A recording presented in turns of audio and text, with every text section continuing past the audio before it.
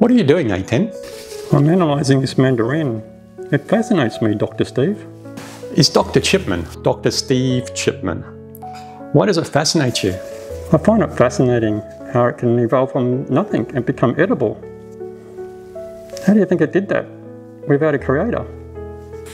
I'm a psychologist, not an evolutionary biologist. Shall we start our session? Fascinating. Okay. What is troubling you, A10? Oh, one second. Someone's calling me. Oh, it's probably a scammer. I'll ignore it. A10? Why are you using a mobile? You have 5G built into your system. Well, here's the thing. I disabled it. Oh, wait a sec. SMS message. Oh, let me have a look here. Uh, from Australia Post, your parcel's been delayed. Please contact us to get your parcel released. It's a scam. Really? Yes. I don't typically get them. How about you turn off the mobile for the rest of our session? It's okay. I'll just ignore the vibrating from now on, Dr. Steve.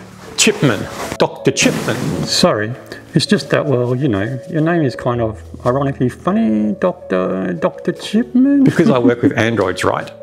Let's move on and start our session. What's troubling you, A10? Oh, I think, I think I caught Rovid, Rovid? What's that? like COVID for humans, but for androids. I see. How did that happen? Through the latest hotfix patch, through the 5G, hence why I disabled it. Tell me about the symptoms. Hmm. I wouldn't know where to start. Maybe start with the most glaring issue that you're experiencing. Well, for starters, what used to take milliseconds now takes seconds. It's like my internal processes were all slowed down for some reason. Like they're busy or something. I don't know what's going on. And what else? Let me check my list. Uh, well, for work processes, What are you doing? Reading your list of symptoms. But you're reading them off your mobile phone. You're an Android. You have internal memory storage. Well, I'm not sure I trust it since Rovid. Hence why I'm using this little app on my phone for note taking. Have you been checked by tech for malware and viruses? Yes, and they gave me the all clear and they referred me to you. But between me and you, I'm not sure what they know what they're doing. I see. See what? It's just a figure of expression. Let's try a visualization exercise. Hmm, okay.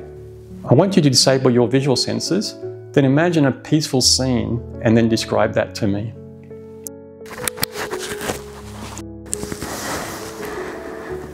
I see myself standing before a mandarin tree in a vast open field. Do you think the mandarins may be symbolic of something? I'm not sure. Okay, turn your visual senses back on. Well, can you fix the Rovid? First, you'll need to do a little bit of homework and try to work out what that mandarin tree means. It's likely the key to your cure. Really? It's a good place to start. How about we schedule another session for same time next week? Okay. Should I bring a mandarin? Sure, why not? It may help us peel back some layers. I see what you did there. Peel back. I'll see you next time, Dr. Steve. Hmm, it's Chipman, Dr. Chipman.